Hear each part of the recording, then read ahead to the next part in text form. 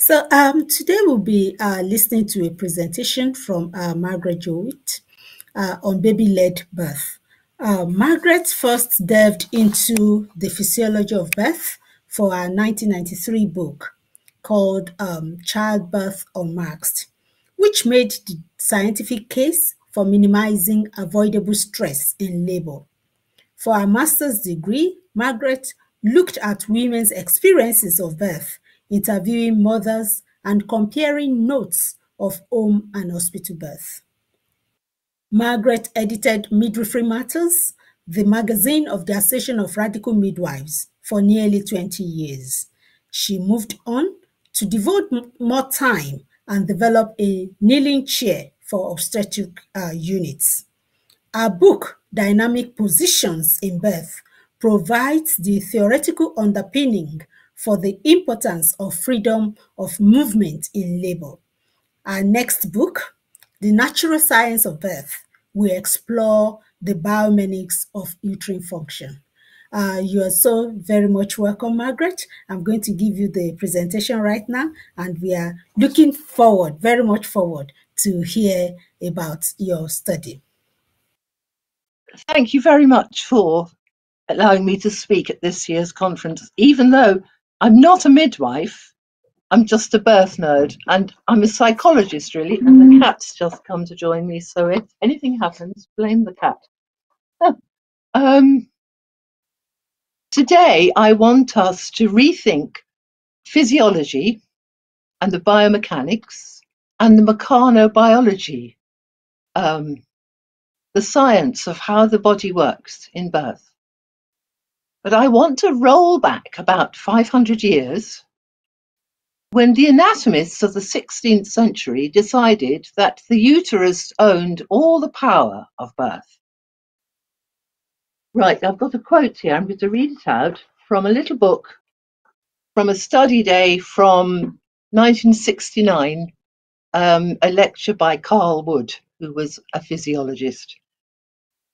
Hippocrates considered that at the appointed hour, the fetus put its feet against the fundus and pushed. The fetus was, in fact, held responsible for its own birth well into the 16th century, when Fabricius ab Acquapendente, an Italian anatomist, put forward the idea, amidst great opposition, that the chief agent concerned in parturition, in childbirth, was the muscular action of the uterus itself. And that has been the case ever since. Um,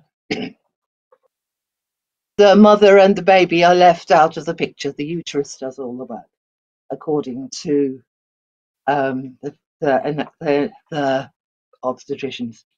Um, 1969 was virtually the last time when most obstetricians and physiologists were still interested enough in each other's work to attend the same conferences. Excuse me.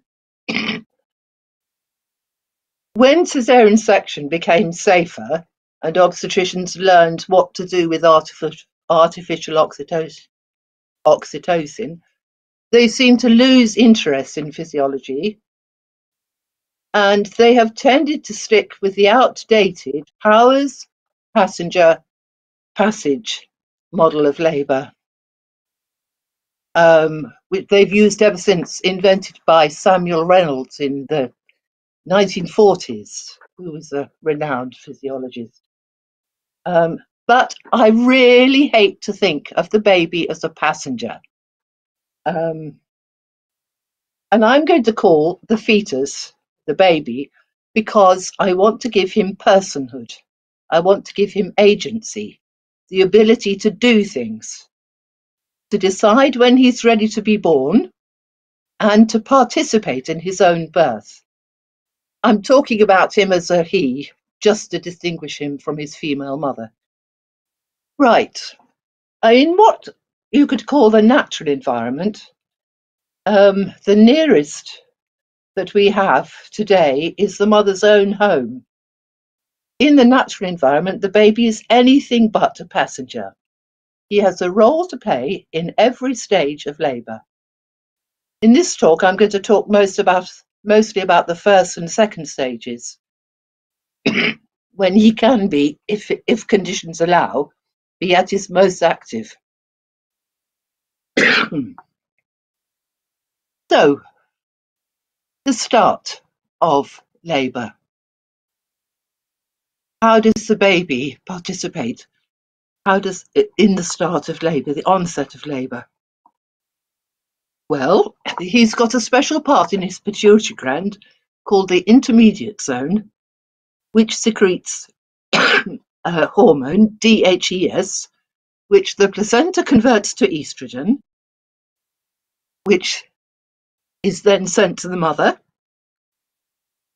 and the mother makes collagenase, a hormone called MMP, which can break down membranes at the cervix and at the uterus. We know that the cervix changes before labour because we've got a we've got a score for it, the Bishop score. Um, we know that this is called remodeling, and it changes the quality of the cervix. It's it has a loss of its tensile strength. It stops being such a good stopper, and it becomes less stiff. It breaks down. The estrogen also leads to an increase in oxytocin receptors at the uterus. So there's a little oxytocin goes a far longer way. Oxytocin has more sites to act at the uterus, so it has a greater effect. And the other thing that estrogen, estrogen does, it starts a process of creating gap junctions, which are electrical connections between muscle cells, so that the uterus can start to act as a whole instead of contractions being restricted to the single site of initiation. Come back to that later. And at the bottom of this slide, I've put inflammation. Premature rupture of the membranes can lead to premature birth, and one of the mechanisms is inflammation. Inflammation is the body's response to detecting a foreign body. Right, the baby starts labour by making his presence felt as a foreign body and uh, by making his mother recognize him as a foreign body. All these bio, all this biochemistry, all this endocrinology transforms the uterus from fortress to lobby, to anteroom, to, to, to starting to become the way out. Um, it transforms it from an incubator to an ejector seat. And it transforms it from a sealed room to a passageway out of the body. Right, the very final stage is when the cervix starts to open. It turns a closed system, a sealed room, into a room with a door, which is starting to inch forward. The uterus has to change its very substance, its physical properties, which is mainly its ability to stretch and, and its ability to resist stretch. It's transformed. And the physiologists call this process remodeling. And it seems to take place starting over the last weeks of pregnancy, as far as we can tell. It's been completely neglected by most, if not all, researchers. Um, I have come across midwives who say that they can feel it, and I'm longing to talk to an obstetrician preferably one who turns breech babies, perhaps. Perhaps they will be able to feel this change in the uterus, uh, in the in the function of the uterus. Now, my main contribution, I think, to this is that I think that this process actually carries on throughout labour itself, that the uterus becomes more and more stretchy and more and more reactive as labour pr- progresses. It fits in with what midwives say. It fits in with mothers' birth stories. And the process hasn't been studied much because it's so difficult to look at human processes. We can't we can't open women up and and look and see what's happening. We can only guess what's happening, and the obstetricians have stopped being interested in what's happening. Um, uh, a few people have looked. A few. The only time a sample of the uterus has been taken is at caesarean section. Um, and when people have looked, they find that there is less collagen in the a myometrial strip taken when the woman's labour has started spontaneously, so that her uterus is more transformed during trans- spontaneous labour than in a labour that was started artificially. So um, I've got a great big up induction in capital letters. I think this is the main reason why inductions either fail or they lead to dysfunctional, painful labour because the uterus simply isn't ready to labour because the uterus hasn't received the signals from the baby. Um, and I want, we have to stop this tide of inductions, this flood of inductions, because it's dangerous. Right, okay, this is the difference. I've got little things, I move this. No. This is what I think the transformation of the uterus is about. And if we compare it to the change in the cervix, on the left you can see a rubber bulb, the sort of rubber bulb at the top of a pipette or a turkey baster or something.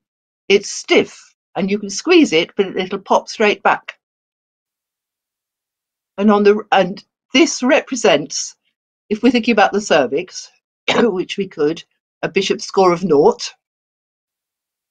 And the one on the right is a blown up balloon, and I've cut its knot off because it doesn't really have a um, a tied knot like balloons do.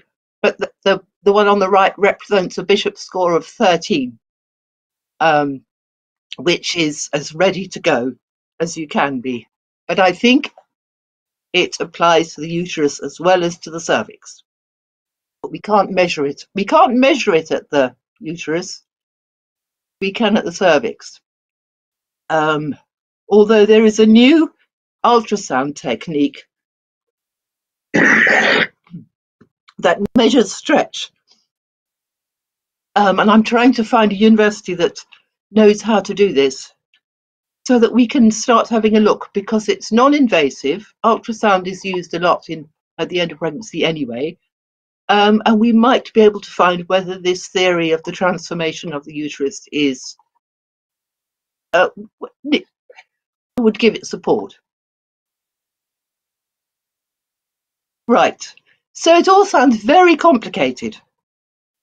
Collagen and collagenase and and estrogen and oxytocin and oxytocinase and progesterone and all the other things. But it's easy if you consider the physical effect of the of the biochemistry on the tissue of the body, the way the stuff of the uterus behaves. Um, I'm a psychologist. I'm interested in behavior, and I came to the uterus through psychology, through wondering what stress hormones did to the uterus. And as you will all know, they stop contractions. That was my way into the fascination of the uterus that I have now.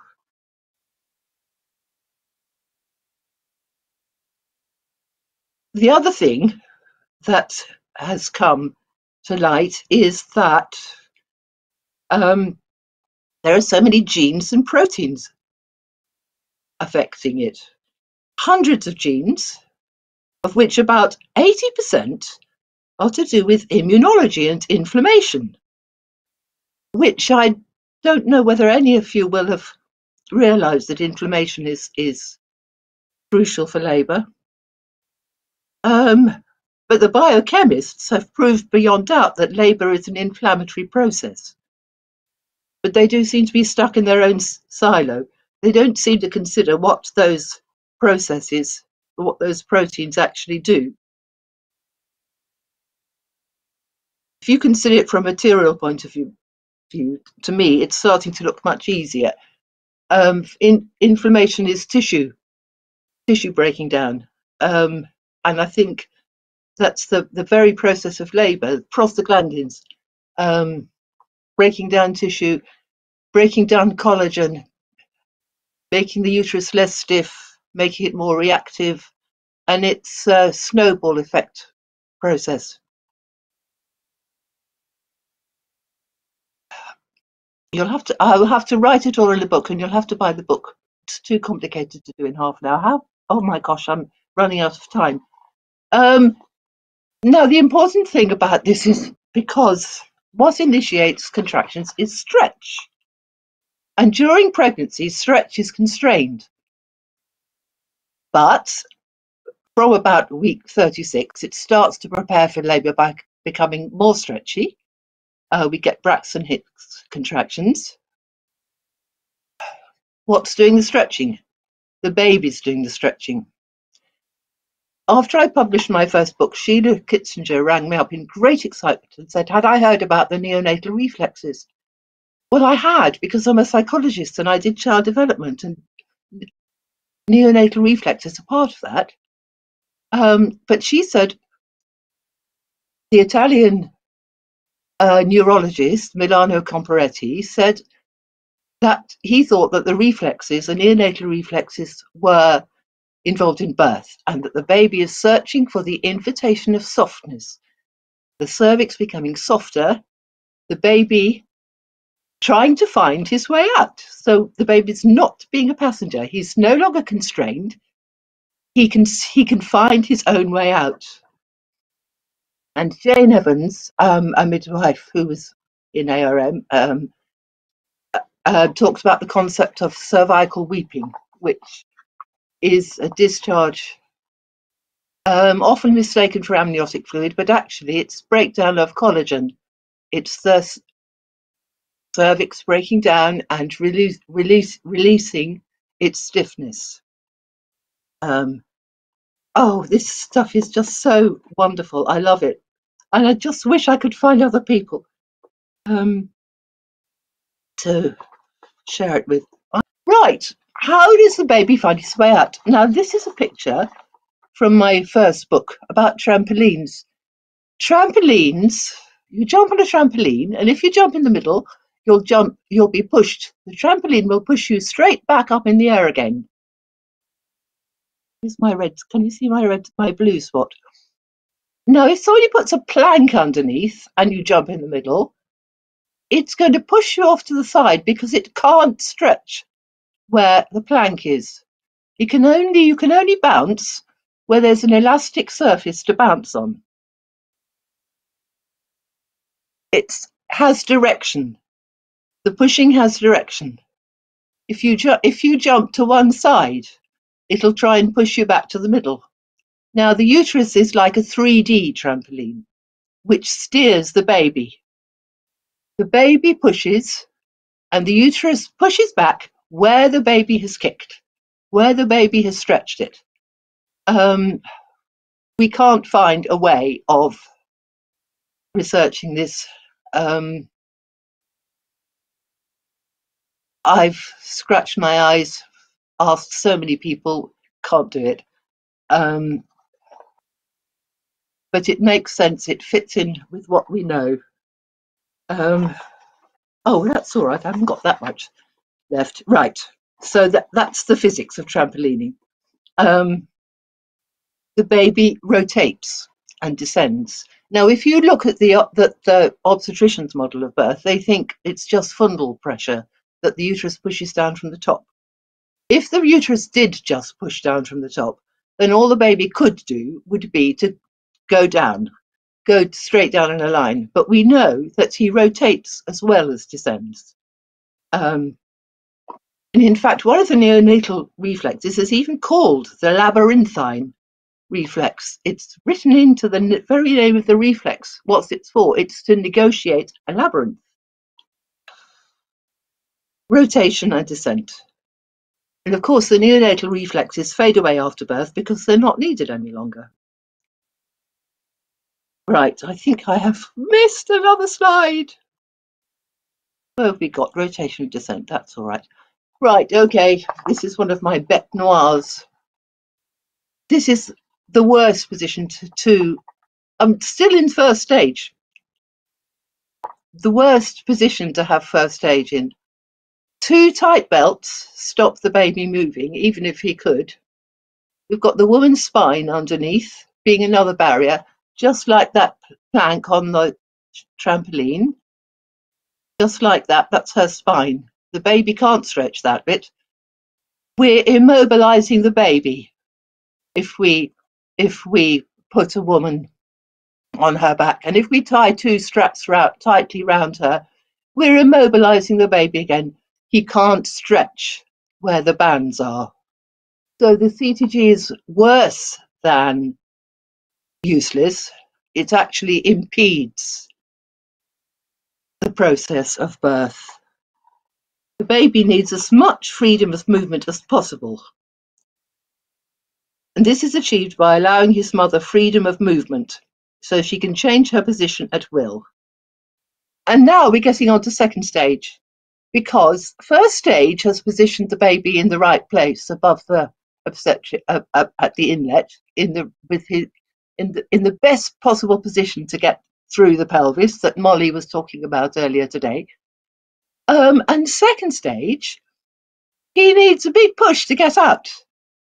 And I believe that that big push comes from the baby impinging on the clitoris.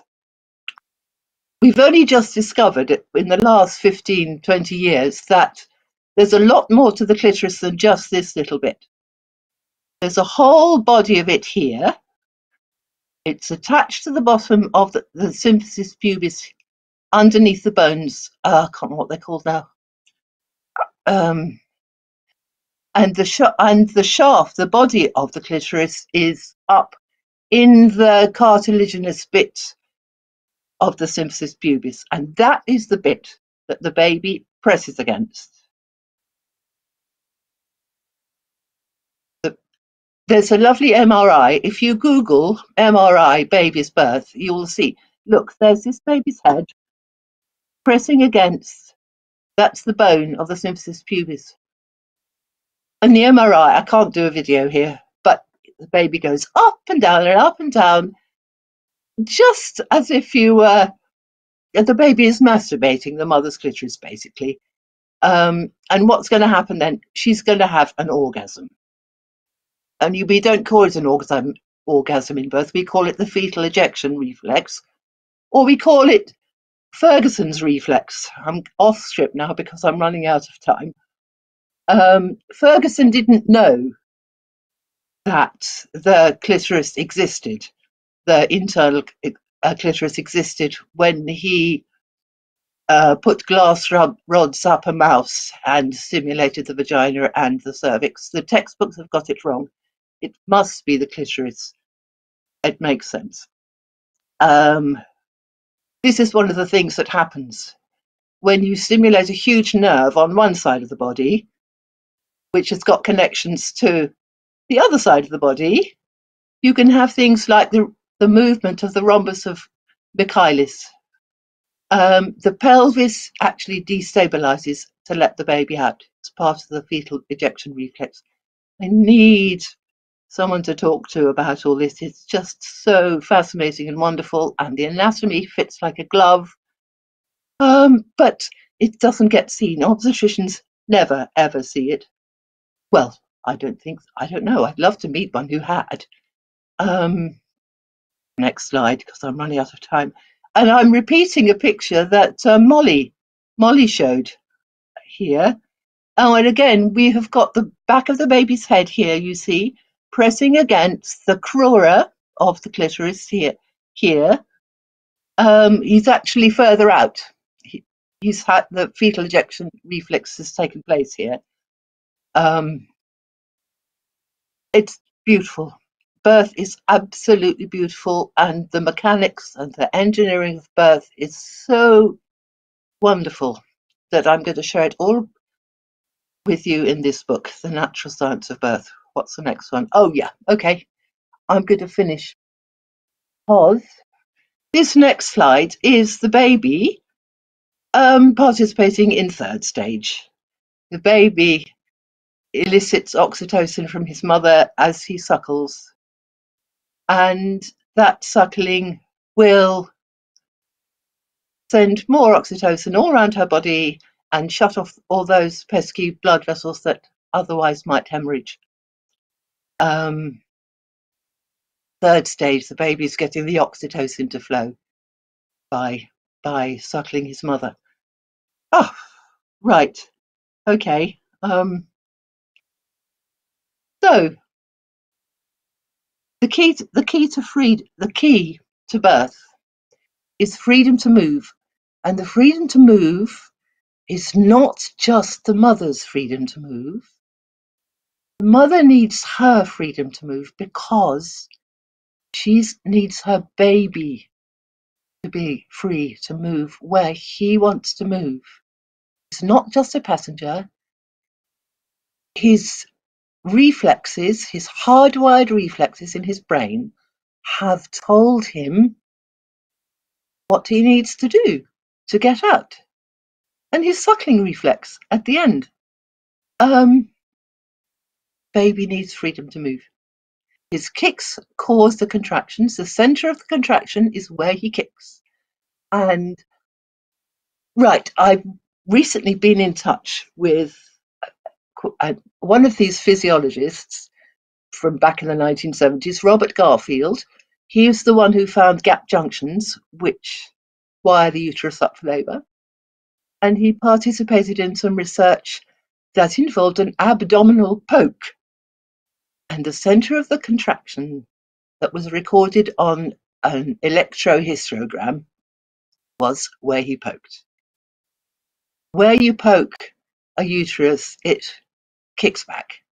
Where the baby kicks the uterus from the inside, it pushes him back, it steers him. Um, right, okay. And the rest of the slide speaks for itself, I think. There we are. The dance of labour. We've got two bodies moving in relationship to each other.